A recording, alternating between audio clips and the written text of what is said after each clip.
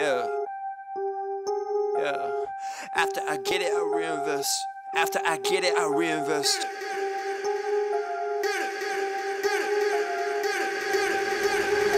People wanna talk that talk in reality. You have not seen me in action. You think the come up comes overnight. You ain't behind the scenes. Trust me, these things don't just happen. No shade to Gerald, but G's don't come when you tryna eat out producing and rapping. I read that contract you sent me to sign, but excuse me, I can't help myself. I'm just laughing. Hey, you tryna cut out a piece of my pie, and I asked you politely, what's it that you offer me? Yeah, I produce all my own beats, and I have no intention of losing my publisher. Yeah, independent individual, boy. I've been eating off passive residuals. Yeah, let's be professional. Thanks for your time, but I had to decline at that principle.